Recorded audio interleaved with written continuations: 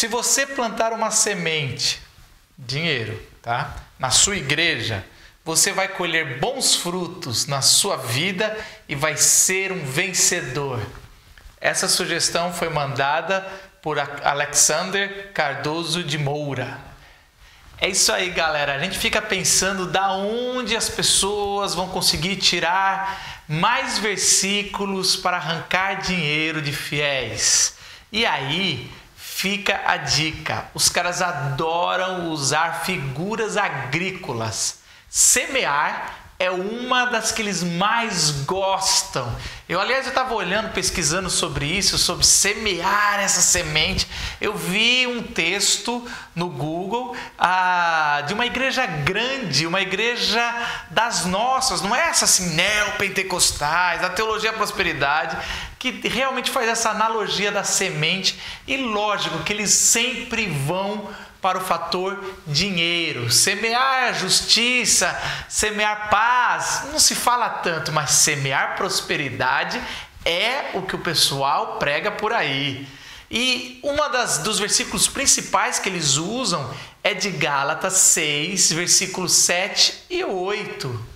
Não vos enganeis, de Deus não se zomba, pois aquilo que o homem semear, isso também ceifará porque o que semeia para sua própria carne, da carne colherá corrupção, mas o que semeia para o espírito, do espírito colherá vida eterna.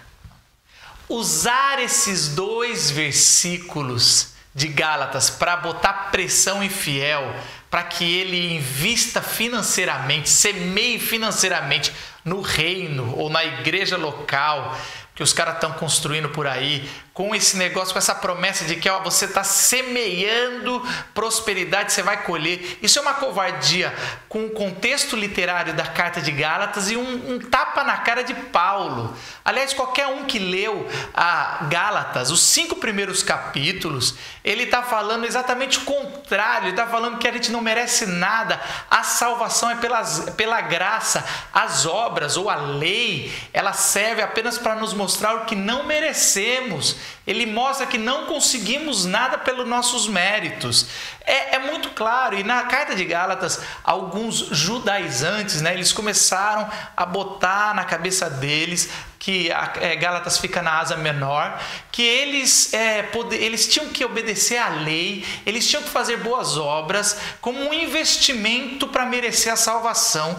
E tudo que Paulo vai falar na carta de Gálatas, e o Novo Testamento vai falar com abundância, é que não merecemos a salvação e não merecemos nada mais do que juízo e o inferno. E aí, Paulo, para que ninguém dê desculpa para fazer assim, ah, então já que eu, tenho, eu sou salvo pela graça, eu vou fazer o que eu quiser da vida, agora eu vou, eu vou agir de qualquer forma porque Deus está me salvando. Esse tipo de argumento barato, no capítulo 6, ele vai falar exatamente o contrário, sobre, olha, tome cuidado que ele foi dado de graça, mas aqui você vai sempre semear. O que você semear na carne, você vai colher. Agora, o que você semear no espírito, e ele está falando sobre o evangelho da graça, da fé, e aí você vai colher também, que é quem investe em Cristo encontra salvação. Essa é a lógica do semear. E com Deus não se zomba e não tente comprar a salvação ou qualquer outra, outra coisa de Deus por obras. Isso é muito claro em Gálatas, mas usar esse texto para botar pressão. Com Deus não se zomba e vista. Você pode, olha, vamos fazer a sua semeadura e aí passa aquele envelope de ofertas.